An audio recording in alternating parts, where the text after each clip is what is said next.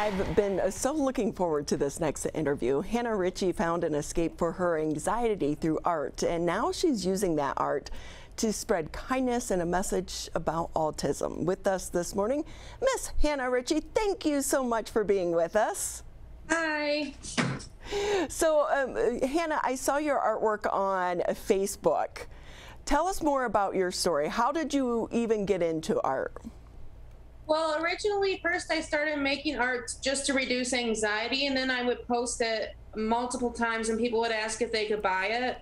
So after like three to- two or three times, I we thought maybe we should. My mom and I thought maybe we should start this business. So, and with that and doing so, can we let people know that um, this is also kind of your way to talk about autism? Yes. Tell us your story, Hannah.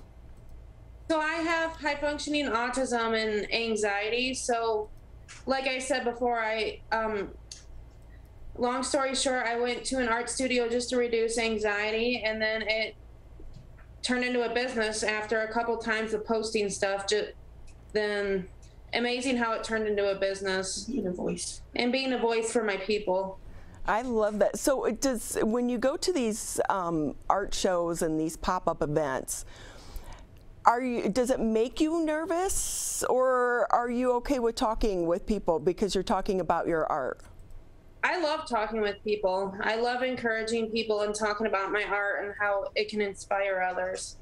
Your art is simply amazing. Um, I know we have some pictures. Do you have anything near you that you can hold up? Yeah. If, if not, we do have uh, some pictures, but you could turn your screen if you want. All right. Um, here, I'll just hold it up. Like, the, here's some, um, like a salad set, and I do custom orders, so, and then like a wind chime.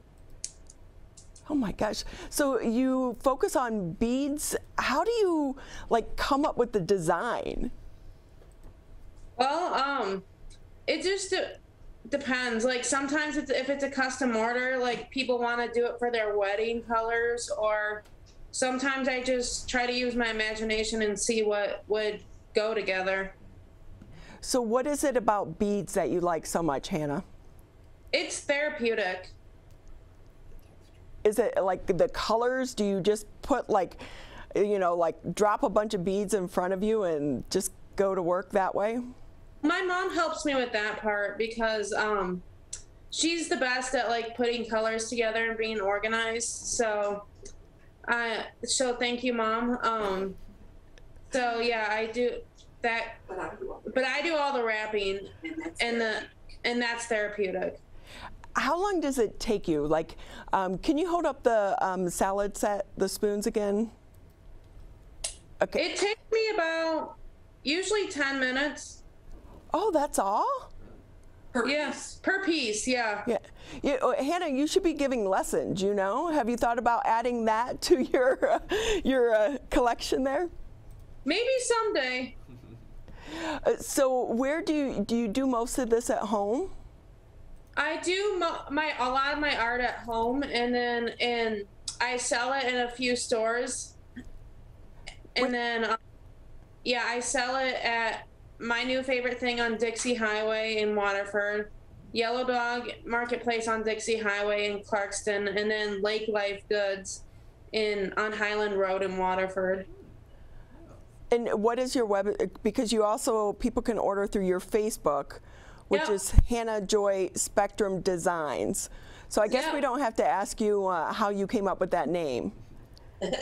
Right? Yeah. It it's because I'm on the autism spectrum. Hannah, I think we can hear your mom in the background. Tell her we said hi. Hi. Can I ask you, Hannah, how old were you when you were uh, diagnosed? I was three. I, yeah, I was three. And walk us through what it's been like for you to grow up with autism. So there have been definitely been some trials, but it's a, honestly God. There's a reason God blessed me with autism, and I and that is to be a, vo- a, a voice for other people and to be able to encourage other people. So now that you've gone public with your story, are other people and uh, with autism have they been reaching out to you? I yes, they have. I in fact, one girl emailed me and and told me that she I inspired her, and then I also have a brother with autism too.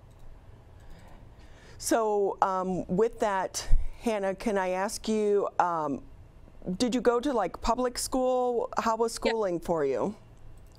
I did public school. It was it was good for the most part. Were the kids nice?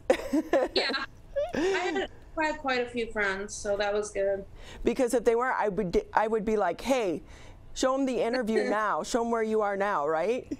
Yes, there are there were a couple that I would like to be able to show this to, but yeah. So looking at uh, some of the pictures, you go to like the fairs and these pop-up shops where you're selling them. It looks like you have quite an inventory. Yes, I do. What made you come up with designing these things specifically, or do you do you want to expand? Um, I don't plan to expand anytime soon, but maybe that might change. But I um, my silverware, I I, I found that I because I liked using wire and beads, and then my mom was gifted one years ago, uh, like 15 years ago, and she thought I could, I would do a really good job at doing that. So, and it's always, it's like I said, it's therapeutic. Where do you get your supplies? Either the silverware I get from Home Home Goods or Bed Bath and Beyond, and then the um the beads I get at either Joann's, Michaels, Hobby Lobby, or Etsy. Wow. Hey, that's something Etsy would be great for you too. Yeah, I'll think about that. You're like, hey, wait a minute. Can we just, uh, you know, let me let me stop here. You know. Um, so with that, uh, Hannah, can I ask you, where do you think you want to take this? Well, that's a good question, actually. Um, I just I love selling my stuff and I love being able to inspire people. And I just, my goal is to inspire more people and to be able to, whether it's starting a business or doing what God's called them to do. Oh, that is so nice. You, I love that you're doing this and you're having the courage to do this because just being able to talk about it and share your story, you are an inspiration to other people. Um, how long have you been making this artwork? Four years now. Wow, so it's you're it's fairly new for you. Yeah. And with that, um, like, I'm I'm I'm sorry. I'm looking at the pictures of your artwork. Have we put them up yet? Some of them. Okay. Uh, I can't always see if we're putting them up, but I'm looking at this, and it must take so much patience to put all those beads together? Once in a while it does, especially when I'm getting like around Christmas time when people have special orders. It's it's great. Don't get me wrong, but then it's like I have to keep up. because how much of this do you do because you love it and it's helped you with your anxiety, but then when it turns into a business, you're like, "Oh, wait a minute, slow down here." Yeah. So, what advice would you give other people? Just if you, whatever gift God's giving you, just go out there and do it, and and don't be afraid, and have courage. That is so great. So Hannah Richey with us here on the show. Hannah Joy Spectrum Designs. You can find her uh, on Facebook. And where are the other two stores again, Hannah? It's Yellow Dog Marketplace and my new favorite thing, my new favorite thing. Tell your mom yep. thank you so much. Can she pop her head in? Mom says bye. well, Hannah, keep enjoying. Oh, but can I ask you real quickly about how much do these th uh, items go for? Well, it depends on what you're getting. Like this salad set, for example, is 40 and then like a, a mini spreader is $10 each. This is so perfect, but it's wedding season right now, and these are yeah. such perfect gifts for a wedding couple. I mean, people are actually going to use it, so You're doing Yeah. amazing things. Thank you so much for you. being with us. We so appreciate your time and your story as well. Of course. Thank you for having me. It's beautiful. And bye, Mom. Bye. Bye. Thank you for featuring my girl. Happy day to the both of you. All right. Bye That- bye.